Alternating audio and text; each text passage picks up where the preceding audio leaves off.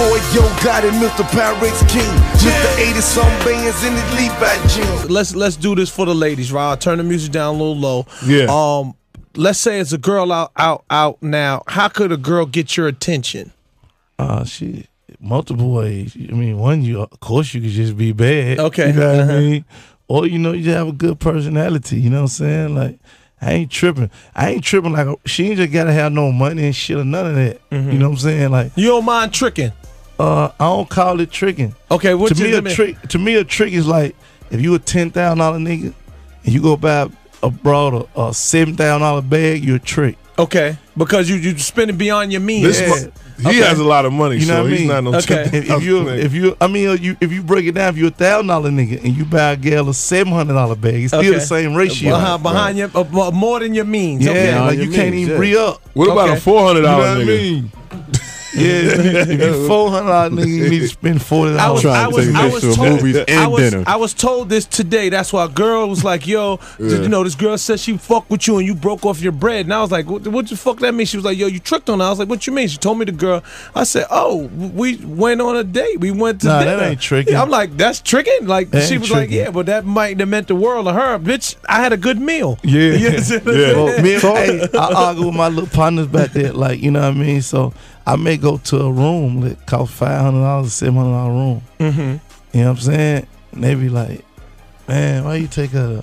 Uh-huh. I'm like, "Nah, that's the type of rooms I'm going in. Period. Yeah, right. It don't matter who going That's in. my lifestyle. You know what I'm saying? Like, What yeah, yeah. Yeah. that's part of the lifestyle. Don't matter who going there with me, I'm going there dolo. You know what I'm saying? You just gonna get to ride that way. You, know, what I mean? well, talking about that, there's been like a lot of um, like I've been noticed a lot of like hip hop um stars. They've been getting involved with like all this reality shows and shit like Yeah. that, reinventing themselves, doing different things.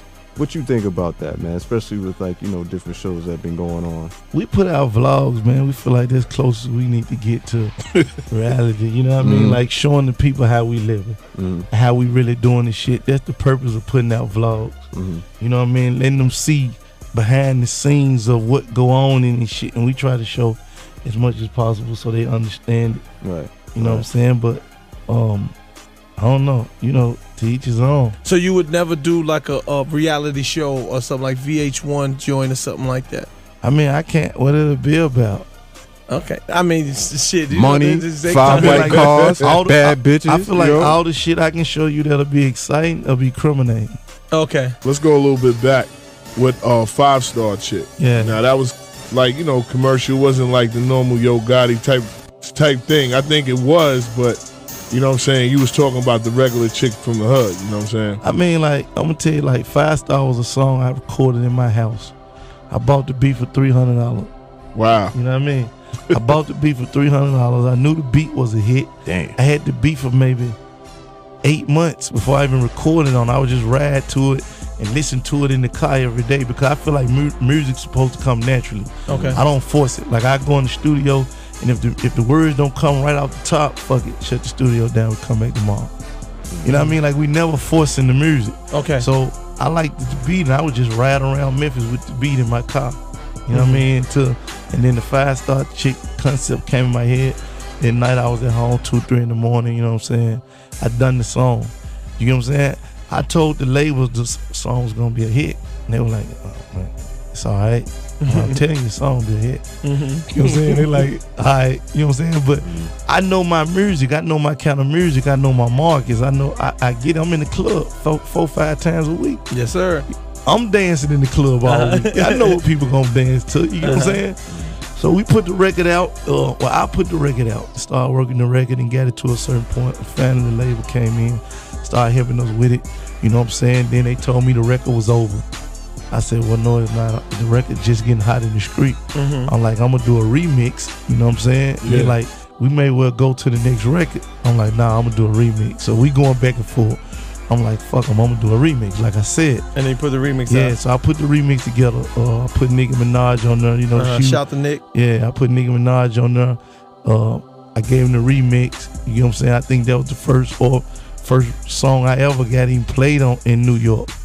I put the remix Oh out. no, women lie. Now, Women Lie was after that. Oh, that. is after? after. Okay, okay, all right. Yeah. First song, brother. Yeah, so Uh. I put the, I put that record out, and then you know New York jumped on the record, Philly, shit like that. Uh-huh. They went to call him, yo, you were right. You know what I'm saying? Like, And then I was like, well, let's shoot the video too. And they were like, nah, but we, we probably shouldn't shoot the video. What the We should, fuck? line, we should line up this next record. Uh-huh. So I'm like, okay, cool.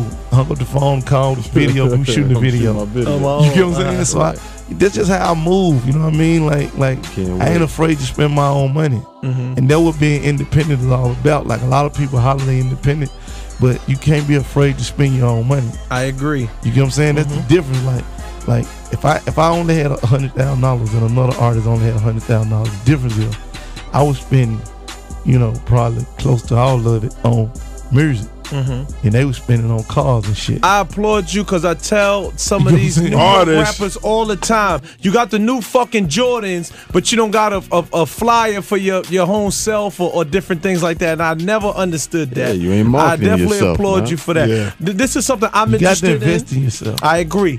Uh, this is something I'm interested in, and maybe someone out there is also interested. Can you walk me through the process of you making a song? Now, you told you just said that you spend three hundred dollars for the beat.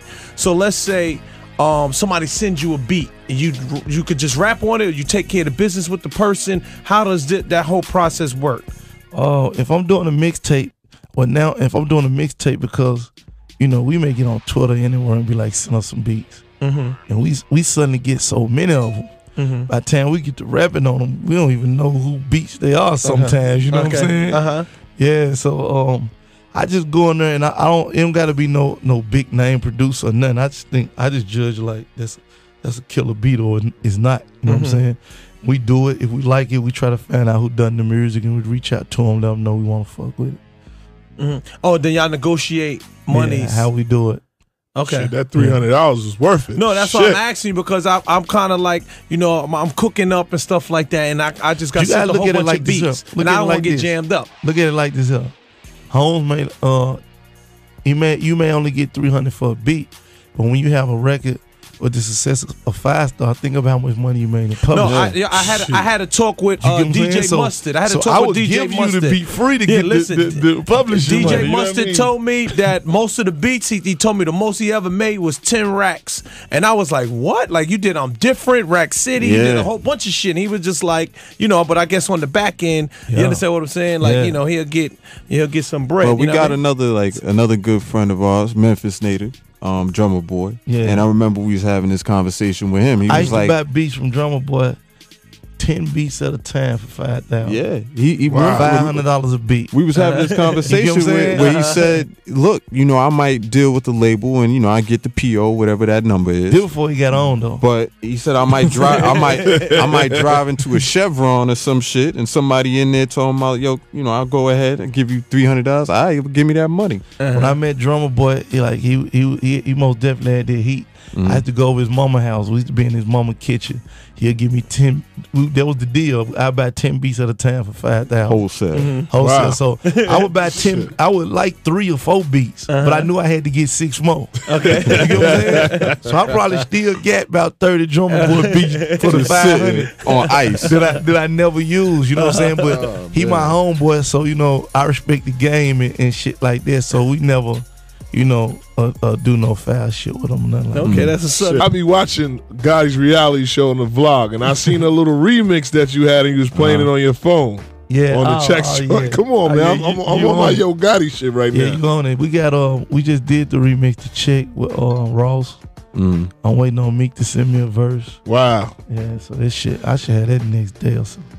that's gonna be crazy. Mm-hmm. I feel like I feel like Gotti a lot of times, man. Yo, Gotti, that is. I feel like a lot of times, like some of these artists who may be more commercially sex- successful, they always come to you to go ahead and really get that that streets. push in the streets. Getting them streets, I don't know. So- so. I'm hoping, and I'm, I'm pretty sure that that's going to be vice versa. Like you know, you go call on that favor. How does that work out with the artists that you you work with? Well, I really I try to rock with with, with niggas I fuck with. You know what I Mhm. mean? It's easy. Like you, if you watch the vlog, I told Yeah. you I sent Ross the, the I sent Ross the instrumental at on my way to Charlotte, probably like four in the evening. Yeah, I had the verse back before I went to the club. Oh, okay. Damn. You know what I'm saying? Uh-huh. Like like them the type of r- working relationship I like with niggas. Because if, if. Ross sent me a, a, a, a track to get on tonight, I'm gonna go straight to the studio and do it. Somebody pissed Tonight. off. Somebody mm-hmm. pissed off because they've been waiting three months for a reply. I'm telling you, somebody Bro, pissed off right now. Some bullshit. yeah, but you know, that's how we move, man. We hustling. You know, what I mean, niggas respect niggas hustling, hustling. We understand how we got to get it. What mm-hmm. about a dude on the come up that wants a feature with you? I know they, you know, it's about a It's in check. that bag. but you know, I rock with a lot of upcoming artists. Like again, if you got any movement in your area, I fuck with you. Mm-hmm. You get what I'm saying? Are we getting another right mixtape before the album? Man, I don't know. I was thinking about that. I don't know. That mixtape that got you the- got now, man. I got the music, but the crazy shit is that, like the, the mixtape we got now is like it's like the shit just cranking up. You get what I'm saying? Like like the life of the mixtape is like yeah. it's just getting we just shot all the viral videos we release we just finna start releasing them. So I mean if I if, if it get to a point where I think this one can't carry me to the mm-hmm. album, Yeah. then we'll put some shit out.